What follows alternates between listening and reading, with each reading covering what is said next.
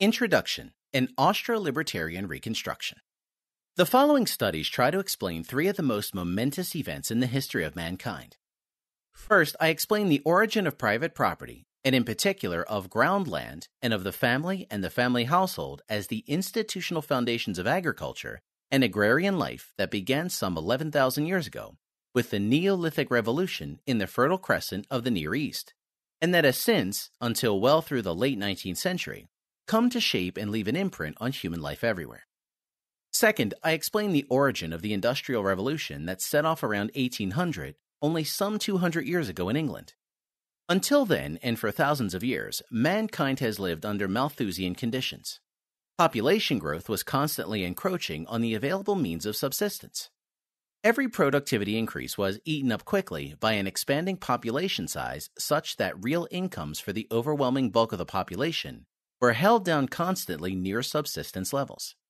Only for about two centuries now has man been able to achieve population growth combined with increasing per capita incomes. And third, I explain the parallel origin and development of the state as a territorial monopolist of ultimate decision making, i.e., an institution vested with the power to legislate and tax the inhabitants of a territory, and its transformation from a monarchic state with absolute kings to a democratic state with absolute people, as it has come to the fore in the course of the 20th century. While this could suffice as an introduction and the reader could proceed directly to the following chapters, a few additional remarks may be in order for the philosophically minded reader. Until the early 20th century, the following would have been classified as sociological studies. But with the rise and increasing dominant influence attained in the course of the 20th century by the empiricist positive falsificationist philosophy, the term sociology in the meantime has acquired a very different meaning. According to the empiricist philosophy, normative questions, questions of justice, of right and wrong, are not scientific questions at all. And consequently, most of modern scientific sociology, then, is dogmatically committed to some variant of ethical relativism of anything goes. And the empiricist philosophy categorically rules out the existence of any non hypothetical, non falsifiable, or synthetic a priori laws and truths. And accordingly, modern sociology is dogmatically committed also to some variant of empirical relativism, of everything is possible, of you can never be sure of anything, and nothing can be ruled out from the outset. My studies are and do everything a good empiricist is not supposed to be or do, for I consider the empiricist positivist philosophy wrong and unscientific, and regard its influence, especially on the social sciences, as an unmitigated intellectual disaster. It is demonstrably false that ethics is not a science and that no universal principles of justice exist and no true, non arbitrary criterion of distinguishing moral progress from decline. And it is likewise demonstrably false that no universal and invariant laws of human actions and interaction exist i.e., no laws of what is and is not possible, and of what can and cannot be successfully done in human affairs, and no non arbitrary criterion of judging actions as correct and successful, or incorrect and faulty solutions to a given problem or purpose. As for the second, positive claim, it is contradicted by the entire body of classical economics. Classical economics reconstructed, refined, and further advanced during the marginalist revolution in particular by its Viennese branch, founded by Carl Menger, 1840 to 1921, with his Principles of Economics, 1871, and culminating with Ludwig von Mises, 1881 to 1973, and his unsurpassed Human Action, 1940, and by what has since become known as Austrian economics, provides the intellectual material for a grand comprehensive system of non hypothetically true laws of human action or praxeology, the logic of action, and of praxeological laws. Any explanation of historical events must take praxeology, and specifically Ludwig von Mises, into account, and it is the empiricists who are insufficiently empirical in their work. In denying or ignoring the underlying praxeological invariants and constants in their observations of the social world, they fail to see the forest for the trees. And as for the first normative claim, it is contradicted by the entire body of private law, in particular the law of property and contract, that grew up in response to the continued occurrence of interpersonal conflict regarding scarce resources. From the old natural law tradition of the Stoics, through Roman law to scholastic law to the modern secular natural rights tradition, a body of law and of scholarly literature on matters of law had emerged by the 19th century that should put any ethical relativist to shame.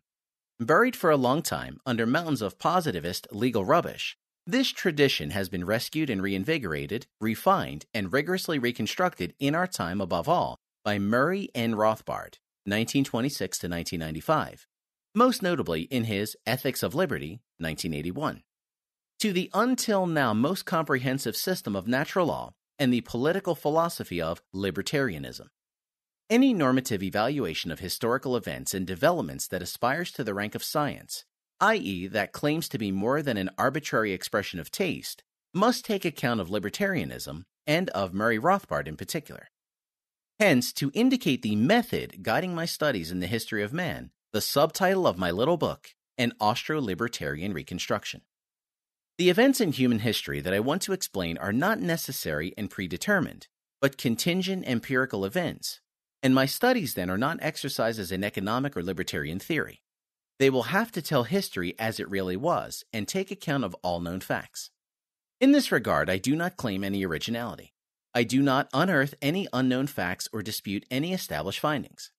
I rely on what others have established as the known facts. But the facts in the chronology of events do not contain their own explanation or interpretation. What distinguishes my studies is the fact that they explain and interpret the history of man from the conceptual vantage point of Austro libertarianism, with the background knowledge of praxeology, economics, and of libertarianism, ethics. They are conducted in the awareness of the non hypothetical or a prioristic character of the laws of praxeology and of ethics, and the fact that such laws impose strict logical limitations on what, which one, explanation or interpretation, of all conceivable explanations and interpretations of some given historical dataset, can be considered at all possible and possibly, hypothetically, true, and so be scientifically admissible, and which ones can and must be ruled out instead as impossible and impossibly true. History, then, is rationally reconstructed, i.e., with the knowledge that every possibly true empirical explanation and interpretation must be in accordance not only with the data, but in particular also with praxeological and ethical laws, and that every explanation or interpretation at variance with such laws, even if apparently fitting the data, is not only empirically false, but not a scientifically admissible explanation or interpretation at all. The history so reconstructed and retold is to a significant extent revisionist history, opposed not only to much or even most of what the dominant leftist mainstream has to say on the matter, but owing to the emphasis placed in my studies on human inequalities, and in particular on unequal cognitive abilities and psychic dispositions. Opposed also to, much pronounced and proclaimed in this regard, by some circles of politically correct and progressive, so called cosmopolitan establishment libertarianism. Thus, the first momentous event in the history of man, the Neolithic Revolution, is reconstructed as a cognitive achievement of the first order and a great progressive step in the evolution of human intelligence. The institution of private land ownership and of the family and the practice of agriculture and animal husbandry is explained as a rational invention a new and innovative solution to the problem faced by tribal hunters and gatherers of balancing population growth and increasing land scarcity. Similarly, the Industrial Revolution is reconstructed as another great leap forward in the development of human rationality. The problem of balancing land and population size that had been temporarily solved with the original invention and subsequent spread and worldwide imitation of agriculture had to eventually reemerge. As long as the population size increased, Per capita incomes could be increased only if and for as long as productivity increases outstripped population growth. But steady productivity increases, i.e., the continuous invention of new or more efficient tools for the production of ever more new or better products, requires a continuously high level of human intelligence, of ingenuity, patience, and inventiveness. Wherever and as long as such a high level of intelligence is lacking, population growth must lead to lower and not to higher per capita incomes. The Industrial Revolution, then, marks the point when the level of human rationality had reached a high level enough to make the escape from Malthusianism possible. And the escape is reconstructed as the result of the breeding, over many generations, of a more intelligent population. Higher intelligence translated into greater economic success, and greater economic success combined with selective marriage and family policies translated into greater reproductive success, the production of a larger number of surviving descendants. This combined with the laws of human genetics and civil inheritance produced over time a more intelligent, ingenious, and innovative population. Lastly, while the Neolithic and Industrial revolutions are reconstructed as correct and innovative solutions to a persistent problem of a population size encroaching on living standards, and hence has great intellectual advances, the third momentous event to be explained is the invention of the state. The state is a territorial monopolist of ultimate decision making, and its successive transformation from a monarchic to a democratic state is reconstructed as the outcome of a sequence of cumulative intellectual, moral, and economic errors, and as a step back in the development of human rationality and a growing threat to the achievements attained with the Industrial Revolution. Per construction, the state cannot achieve what it is supposed to achieve. It is supposed to produce justice, i.e., to uphold and enforce the law. But with the power to legislate, the state can, and inevitably will, break the law and make law in its own favor, and so produce instead injustice and moral corruption and the state is supposed to protect the property of its subjects from foreign invasion. But with the power to tax its subjects, it can, and inevitably will, expropriate the property of these subjects, not, obviously enough, to protect them and their property, but to protect itself and its expropriations against any so called invader, foreign or domestic. As an expropriating property protector, i.e., as a fundamentally parasitic institution, the state can never help, but will always hinder in the production of wealth and so lower per capita incomes. In combination, then, with the following studies, I hope to make a small contribution to the old tradition of grand social theory and render the long course of human history from its very beginnings to the present age more intelligible. Hans Hermann Hoppe, Istanbul, January 2015.